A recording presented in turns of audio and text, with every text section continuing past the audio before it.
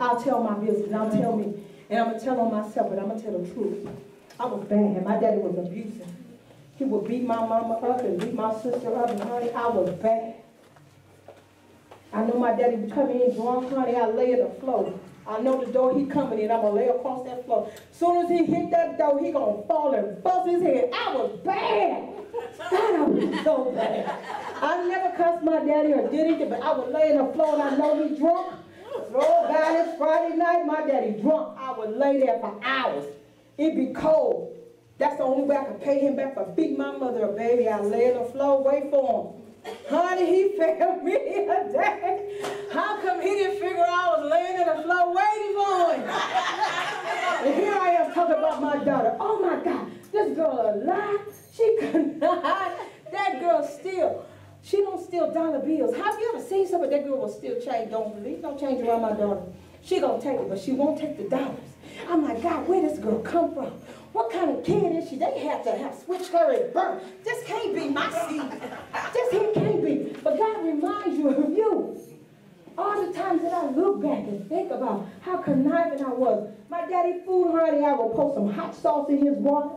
He go to make a big old pot of spaghetti. I'm pouring the whole thing of pepper in it. So when he put it in his mouth, it's gonna burn.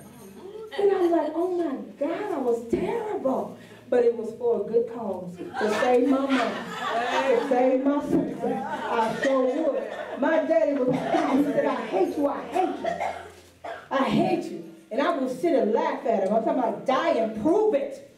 Die. Prove it. But that was mean.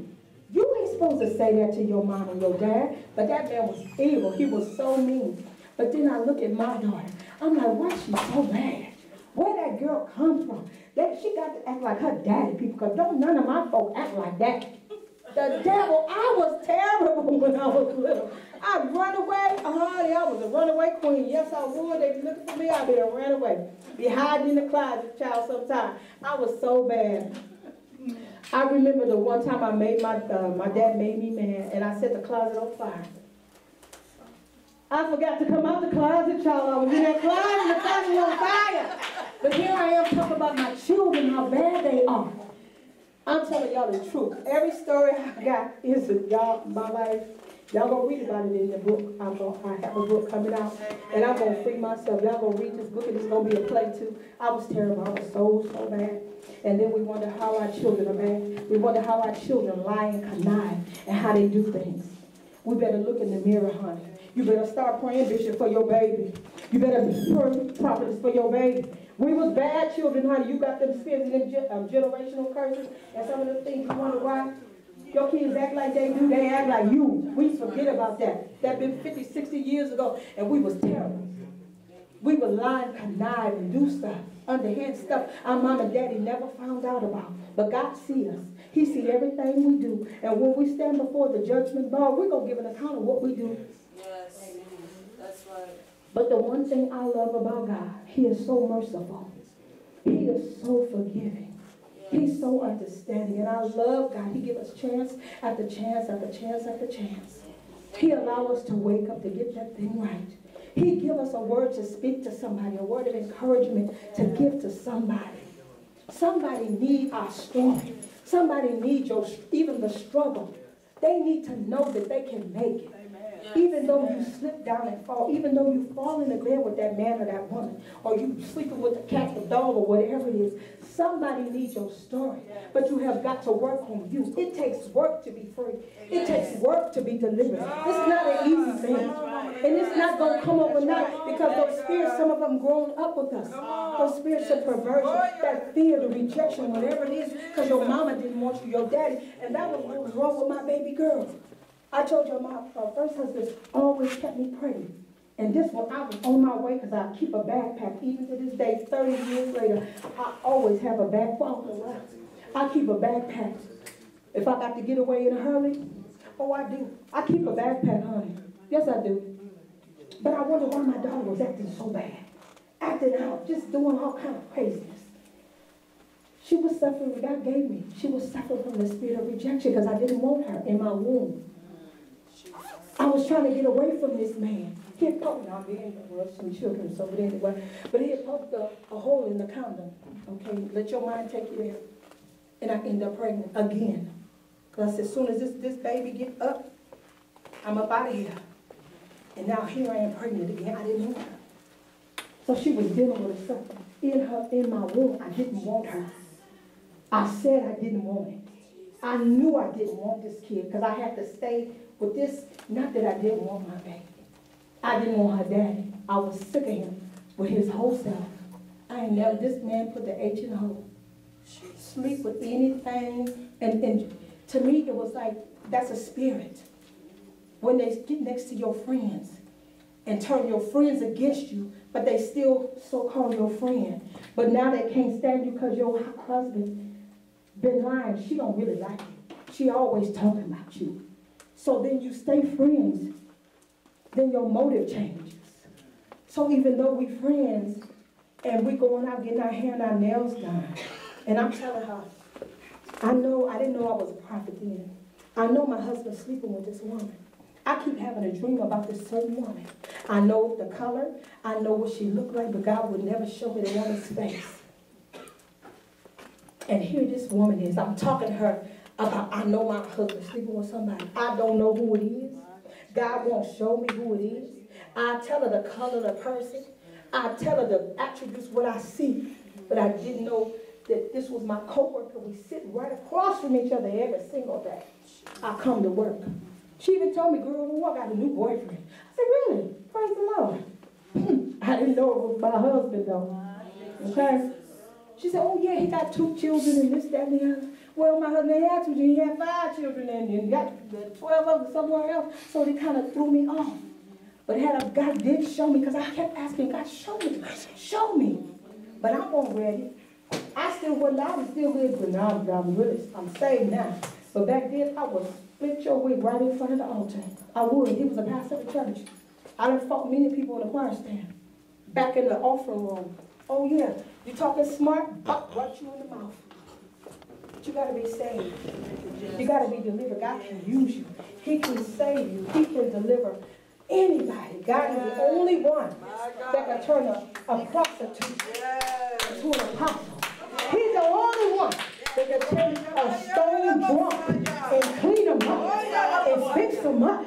He's a pastor now. He's out reaching souls for Christ, running hard. He's the only one that can clean that drug dealer up. He has sold drugs to the whole city. But God is the only one that can save you and clean you up and send you back to the place where you were selling drugs as a living, walking, talking example. That's a miracle.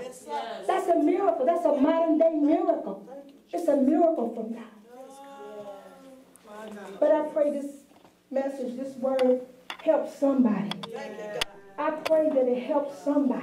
Let you know that you can still be free. You can still be delivered. Even now, you can deliver yourself. If you got an issue, if you got a heart, if you got problems and things going on with you, God can still save you. God can still make you clean. Look at Rahab. Look at the heart. Look at the woman at the well. No matter what your story is, no matter what your past is. God can clean you up and turn your life around. He will make you look brand new. Even the friends that you used to hang with, your running buddies, he'll clean you up so where they won't even be able to tell who you are. I'm a witness here. He'll do it. He will do it if you allow him to. That's right. But you got to speak to yourself. Speak to that mirror. Talk to yourself. Talk to yourself. Tell yourself you can make it even after all of that. After that last baby that got my friend got, I said, I'm done. I'm out this place. But I was with that man for 25 years. I'm like, God, how am I going to make it? How am I going to live? I ain't got no job. What am I going to do with my children? God, if, but if you want to be free bad, God will help you. I went to a homeless Yes. shelter with my children. I sure did. I left that house. I climbed out the window. I'm telling you, I told my kids, let's get up out of here. I went and got them from school, and we got up out that place. But God cleaned me up. Look at me now. And we got that God. I would have never been who I am in God now. I would have never accepted my calling. I would have never accepted, because I always thought when I saw stuff that I was crazy, so I would drink. I'm like, ooh, the blood of Jesus. That would walk around. looking like a skeleton. Or that man homosexual, you see the, the people that he with in the bed. I always thought I was crazy. I would see somebody and they come next to me and I smell dirt, fresh dirt or fresh flowers. A couple of days later, they die. Like, oh my God, the blood. I thought I was crazy, so I would drink and take a sip. But God will deliver you and He'll save you and He'll clean you up. He'll make you brand new. So don't let your situation, don't let nothing stop you from going in God. Don't let the devil beat you down about your past. There's nothing, I tell my kids all the time, ain't nothing you could do about your past, but you can do something about your future. You can make, you can turn yourself around. Don't let the devil, girl, I remember when you used to be a hoe. I remember, girl, remember when you used to get drunk and all. Oh, that's my past. That's my past. But don't let the devil use that to hold you down. I don't care if you did sleep with that man. If God give you a word, you better go tell him. And if he believe it, he believe it. If he don't, that be his problem. That ain't got nothing to do with you. But you tell that man, you tell that woman, and you be all who you can be in God. Because we're going to leave this place. Amen. Our earthly vessels is going to leave this place. We get sick down, sick. I broke down. I got my knee. I forgot my knee brace. Oh, Lord, my back be hurting the blood of Jesus. But those are scars, battle scars. Don't let that stop you from being who you are in God. Go forth in God. Amen. Go forth in God. And one last little thing. Uh, my beloved pastor, Pastor Talifia Lee, left this place. And as I would help this woman of God, as I would help her, and she would be so sick some days, I have to go feed her and bathe her and change her and help her.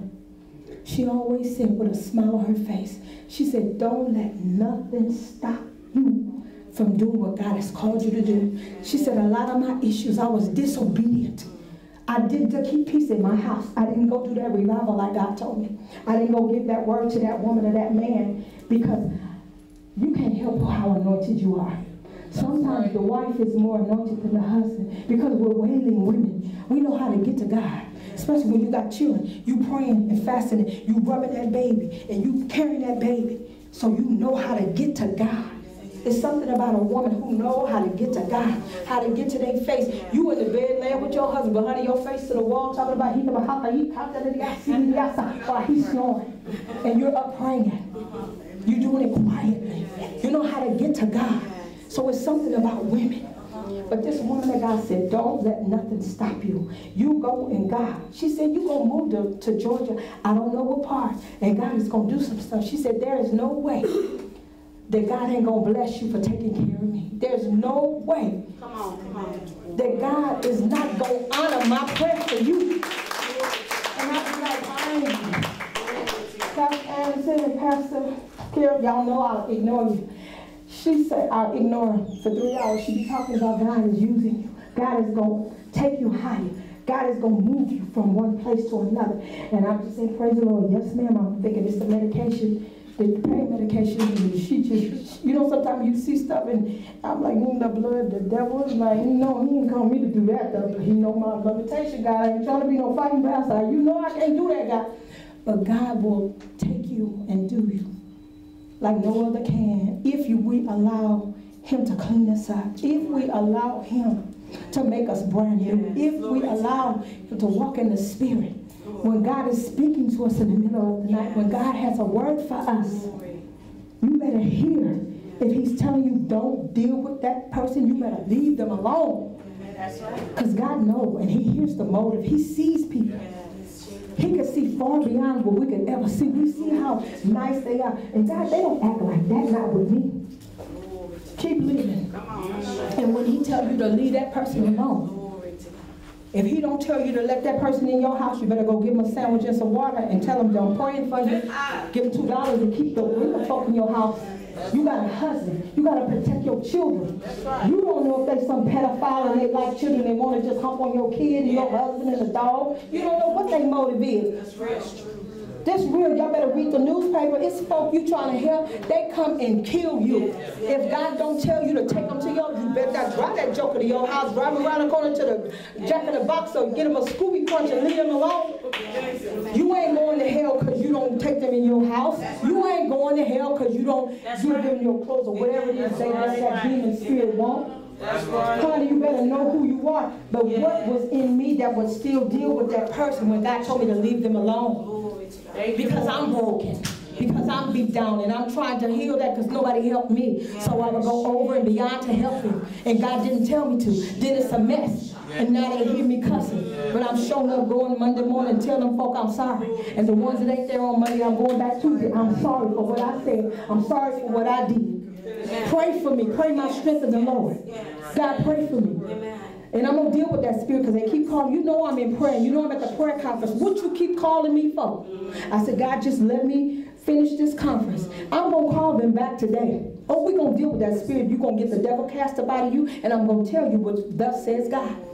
And that you won't use me again. That you won't make no fool out of me again. I love you, didn't let me know where you are so I can come bring you a tuna fish sandwich and some chips and keep it moving. Because if you want your friends and people free more than they want to be free, you fasting and you praying, Talking and spitting for you heap of a hocking and spitting, and they at the movies. You heap of a hocking and being sold out, and they eating and you starving and looking like one of them children from Somalia. Your belly got so much air in it, and you pooping and they don't even have an odor because you ain't had no food. But you want them free more than they want to be free. The devil is you ain't finna use up my anointing. And here I am, I can't even cook my husband an egg. I was so beat up that one that one day I couldn't even cook no toast. I was tore up. That is not of God. That's right. Because that's your first ministry is at home. If you can't cook, you can't roll a biscuit. Your husband tell me, rub my face. I'm so tired and beat up before I lay down. I'm asleep. That is not of God. You better ask him. And ask somebody, Lord, is this for me? Am I supposed to do this? And wait for the answer. I don't care how much they call your phone. Let them keep calling. Let it go to voicemail. Oh my God. Get a new ministry, honey. Have the hang up ministry. Let it go to voicemail. It's all right. You got to set parameters and boundaries. Yes. And if they don't abide by that, make them. Yes. Sit there and look at that phone ring. It's okay. Keep watching the movie with your man. He just wants you to sit and have some popcorn with him, but you busy running missionary and running that. And he's sitting there looking with a bag of chips in his hand, waiting on his dinner. It ain't cooked, but you Holy Ghost filled fire baptized. He go haka he kanda ba ba ba sa and can't even cook a meal.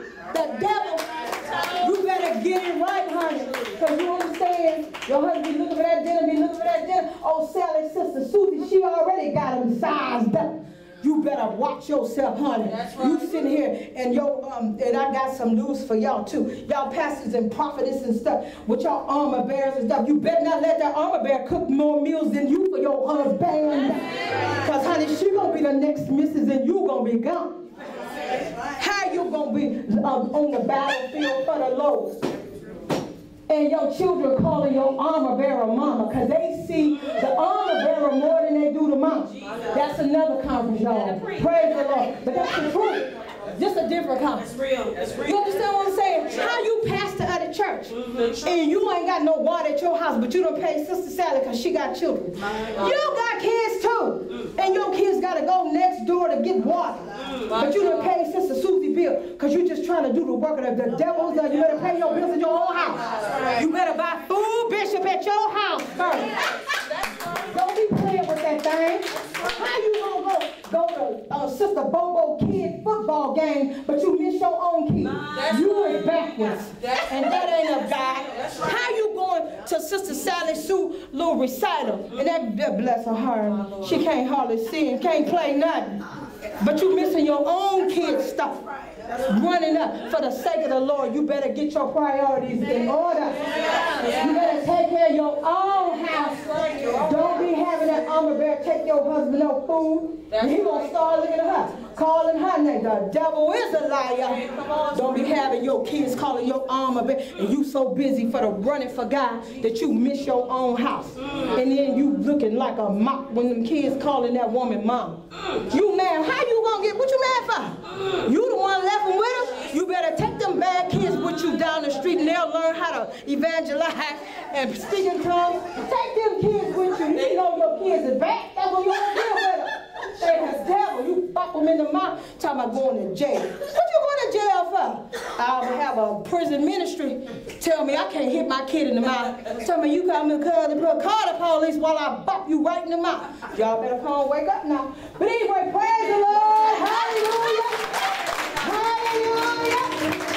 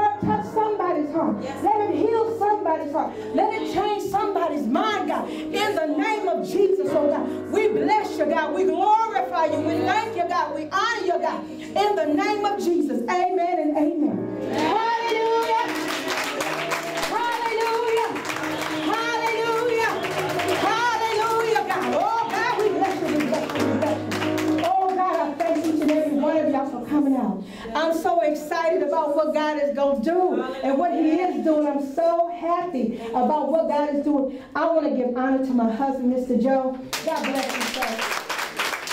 I know I be mean sometimes. Forgive me. Pray for me. You know I be mean sometimes. I be, I be mean. I ask you to forgive me, sir. But I thank you for allowing me to be me. I thank you for allowing me to be praying and speaking in tongues and hiccup in that room at 5 o'clock in the morning, praying for people. And he lets me flow. Like sometimes I don't understand. I be mad, Lord, why he ain't doing this, why he. But he lets me flow. Yeah. And I appreciate that. I appreciate it's a small thing. Don't always look at the negative. He lets me flow. I told him I want this prayer breakfast. I ain't got no job. God is good. He lets me flow in the Holy Ghost. I be going to pray for people. I be cooking for folks. And where my, you better get my food, woman. Where my food? My chicken? Where my chicken? But God is good, and it's a blessing that your husband or your spouse allow you to flow. Because they, the devil could use them. The devil could use them to agitate and aggravate us and be nagging at our heels, but he don't. Sometimes he said, you, you said you to stay in the bed, you didn't get, look at you now, look all beat up. Look at you, look sleepy. But I up and I'm up running and I'm not praying. And he don't bother me, he prays for me. And I thank you for that, Mr. Joe. I love you, dear sir. I thank you, people of God. Evangelist Wilson from North Carolina, Bishop from North Carolina, Pastor Angela from North Carolina, Prophetess Bell from North Carolina in the house, Chosen Kings in the house, Chosen Kings, Chosen Kings. And the Bishop from Florida, God bless you, sir. Prophetess from Florida, God bless you, sir. From Florida and North Carolina, Miss Rose from North Carolina, Miss Jewel from North Carolina. The babies from North Carolina. God bless you. Thank you, Pastor Anderson. I love you. I love you, Elder Reverend. I won't hang up no more. I'm gonna call on the on the next mentor call. I'm gonna call on the next mentor call. North Carolina, the house evangelist. Praise God. God bless you. I thank God for each and every one of you. I pray that you all take something that I've said. I may be funny and say it in a funny way, but I'm dead serious about everything I say. I am serious. My book is going to come out, a play is going to come out about my life and about use those things and those tools to save people and deliver people about molestation. It's not about the secrets that we hide. Somebody needs that word. Somebody needs that story so they can get delivered, so they can be set free. Don't be selfish about your testimony. Everybody can't handle your testimony. And you'll know it when you tell them a piece of your life and they run and telling other people, come, girl, did you do this? Did you do that? Ain't no shame in my game. Mm-hmm. Uh-huh. I sure did do it. And, and, and, and thank God he delivered me. That means you know that that word was not for that person, that they can't handle it, that they're not mature enough in God to deal with it. But somebody needs to be set free by your testimony. Somebody needs to hear how you struggle. Even with me, with self-esteem issues, because people tell you, the devil tell you, you fat, you ugly, and you stupid. You'll start to believe that. And it was a long time for me that I used to suffer and didn't know I had depression. I used to, this is, I'm telling y'all the truth. I used to let my children play in the street. I'd lock them up the house, all five of them, I'd be, they'd be playing. They would be playing in the street. I was so depressed because I couldn't get out the bed. I didn't like me. Every time I looked in the mirror, all I saw was what my, what the devil said to me. But you, just because they call you that, don't mean that means that you are. Just because they say that's who you, don't mean that's who you are. Just because they, the devil uses that, because it's a sore in you, and because it's a wound in you. Honey, I put my wig on now, I be feeling so God awful. I'm like, oh my God, don't let me die today. I feel like death warmed over. But I get up, shake my wig. I ain't got no lashes on because I was hot. But, but they in my purse. Trust me, anybody want care? They in my purse. But use those things that the devil tells you to get yourself out the bed. To get yourself up, shake yourself off. Just because you slipped and fell don't mean you got to stay in the ground. Just because you had an affair or had sex with that man or that woman don't mean you got to stay there. Get up and shake yourself loose. Get yourself loose. Shake yourself. Get yourself together. Whatever it is, inadequacy, when you look at yourself, some, some of us got self-esteem issues. Some of us got problems every time. Don't matter what clothes you put on, and you still look ugly. It's the spirit that you need to deal with down. Get to the root of it. Because if you don't chop that tree from the root, it's going to sprout up again in some other way. And oh, how well do I know it will sprout up if you don't deal with that spirit.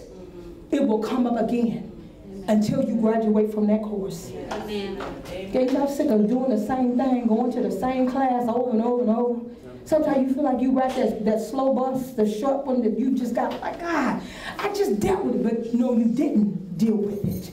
You had an issue, but you didn't deal with it. Because when you deal with it, even when it comes, it don't even bother you no more. Amen. It won't bother you no more.